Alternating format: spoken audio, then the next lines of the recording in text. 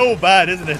Major upside here is that you're sticking it to the liberals. You shouldn't be allowed to buy a fully automatic 12 gauge shotgun with a high capacity extended magazine. I agree. That's why I bought two fully automatic 12 gauge shotguns. Flip my right turn signal while turning left. Take that fucking liberals.